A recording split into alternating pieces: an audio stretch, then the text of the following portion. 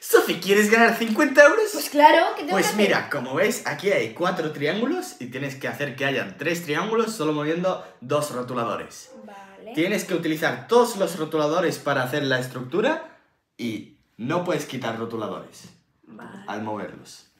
Venga, a ver si te sale. Mica, ¿en serio quieres perder tus 50 euros tan fácilmente? Eh, ¿Por qué? ¿También lo has visto en TikTok o qué? No, es que es muy fácil. Gracias.